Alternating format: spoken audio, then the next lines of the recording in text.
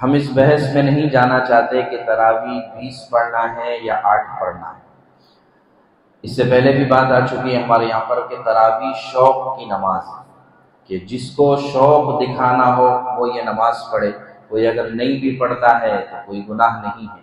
लेकिन अल्लाह के नबी सल्लल्लाहु अलैहि वसल्लम ने क्या किया, ये मैं खाली थोड़ा सा रखना चाहता हूँ। जो लोग आठ पढ़ते हैं, उनसे हमें कोई सरोकार नहीं। जो लोग बीस पढ़ते हैं, उनको पता चले कि हम सुन्नत पर अमल कर रहे हैं, या नहीं कर रहे हैं।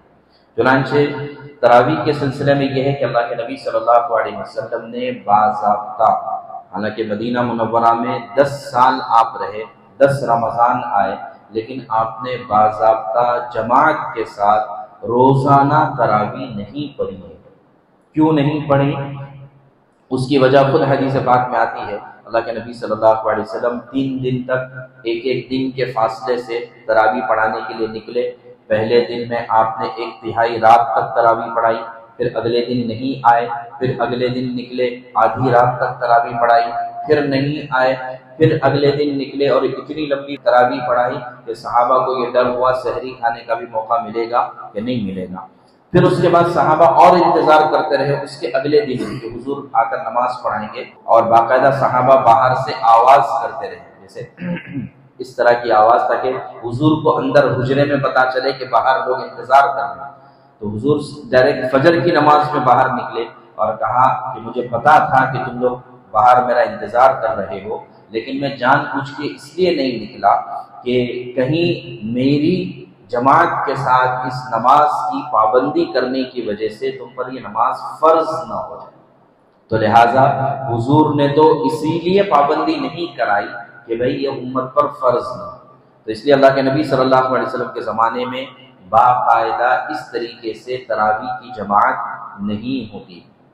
फिर हज़रत अबू बकर रदी अल्लाह का ज़माना आया, दो ढाई साल का। उसमें भी लोग अपनी अपनी तरावी पढ़ते थे। अच्छा अल्लाह के नबी सल्लल्लाहु अलैहि वसल्लम ने क़याम रमज़ान या तरावी की तरगीब ज़रूर दी कि जिसने भी रमज़ान में तरावी पढ़ी या क़याम किया, अल्लाह ताला उसके पिछले सारे गुनाहों को माफ़ कर देंगे।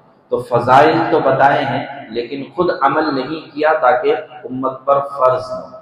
हज़रत अबू बकर रदी अल्लाह का ढाई साल का ज़माना फितनों का शिकार गुजरा है तो उसमें इस तरफ़ कोई तवज्जो नहीं। की हज़रत उमर रदी अल्लाह का ज़माना आया, पहला साल तो ऐसे ही गुजर गया। उसमें भी हज़रत उमर रदी अल्लाह ने कोई तवज्जो इस तरफ़ नहीं फरमाई, और लोग मस्जिद में या घरों में अपनी अपनी तरावी पढ़ते थे, अपनी इनफरादी तौर पर तरावी पढ़ते थे। जब दूसरा साल आया, यानी सन हिजरी चौदह का मौका आया तो हज़रत उमर रदी अल्लाह ने बाकायदा हुक्म दिया। हज़रत तमीम दारी रदी अल्लाह एक उबई बिन काब रदी अल्लाह को कि आप लोगों को एक साथ मिलकर जमात के साथ तरावी की नमाज़ पढ़ाएँगे और उसमें तय किया कि कितना कुरान पढ़ेंगे, ताकि कुरान भी मुकम्मल हो सके। तो ये हज़रत उमर रदी अल्लाह के ज़माने से बाकायदा तरावी का अहतमाम होता चला आ रहा है। अच्छा अब एहतमाम क्यों होने लगा? अब इसलिए होने लगा कि अब ये नमाज़ फ़र्ज़ नहीं हो सकती। हुजूर पाक सल्लल्लाहु अलैहि वसल्लम जब तक बाहयात रहे तो ज़ाहिर है कि आसमान से अहकाम आते रहे। अगर हुजूर पाबंदी करते तो फ़र्ज़ हो जाती।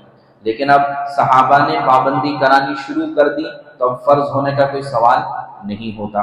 क्यों? अब सहाबा ने पाबंदी क्यों करानी शुरू की? इसलिए कि सहाबा को इस नमाज़ की अहमियत और फजीलत का पता था। तो इस वजह से हज़रत उमर रज़ी अल्लाह ने एक जमात पर सबको ले आए और दीगर तमाम सहाबा ने भी इस बात की पाबंदी की। किसी ने इनकार नहीं किया कि हज़रत उमर से कहा कि तुम ये नई चीज़ क्या शुरू कर रहे हो? नहीं, बल्कि और हमें हुक्म क्या है? हमें हुक्म है, अलैकुम बिसुन्नती व सुन्नत खुलफा राशिदीन कि तुम मेरी सुन्नतों को भी लाजिम पकड़ो और मेरे खुलफा राशिदीन की सुन्नतों को भी लाजिम पकड़ो। तो इसलिए हम ये कहेंगे कि अल्लाह के नबी सल्लल्लाहु अलैहि वसल्लम ने इस नमाज़ की तरगीब दी है, फ़जाइल बताए हैं, रकात मुतन नहीं की। लेकिन हज़रत उमर रदी अल्लाह ने इस नमाज़ की रकात मुतन फरमा दी।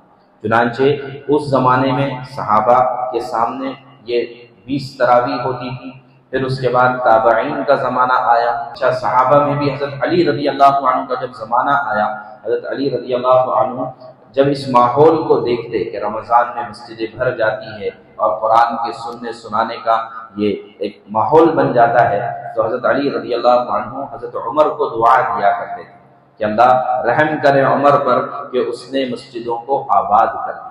वरना अगर आप तस्वूर करें कि अगर तरावी की बाकायदा जमात ना हो तो हम में से कितने हैं जो रोज़ाना नफिल के तौर पर, या सुन्नत के तौर पर इस नमाज़ को पढ़ने वाले होंगे बहुत मुश्किल से चंद लोग होंगे तो इसलिए हज़रत उमर को दुआ दिया करते थे कि उन्होंने ये जमात की नमाज़ शुरू कर दी, बहुत अच्छा हो गया।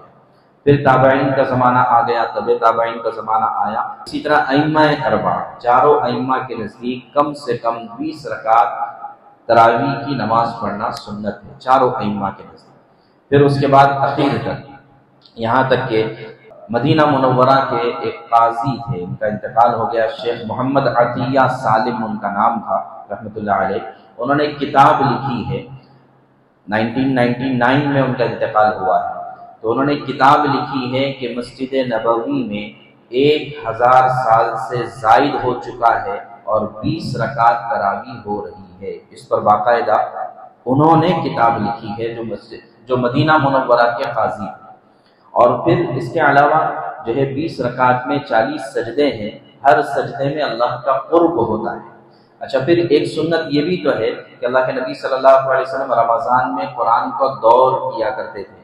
तो अब हाफिज लोग तो दौर कर सकते हैं, जो हाफिज नहीं है, वो कैसे करेंगे ज़ाहिर है उनके लिए तरावी सबसे बेहतरीन नेमत है कि इसमें वो पूरे कुरान को सुनते हैं।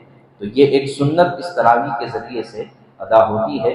तो लिहाजा जो लोग इसका अहतमाम करते हैं, वो लोग पाबंदी करें, अहतमाम करें, इसलिए ये बात बताई है। और पूरी बशाशत के साथ, पूरे इतमान के साथ और सुन्नत पर अमल करने की नीयत से हम 20 रकात तरावी का अहतमाम करें और कुरान को सुनने का अहतमाम करें। कि ये एक ही तो महीना आता है जिसमें हम जो है इतना अहतमाम करते हैं।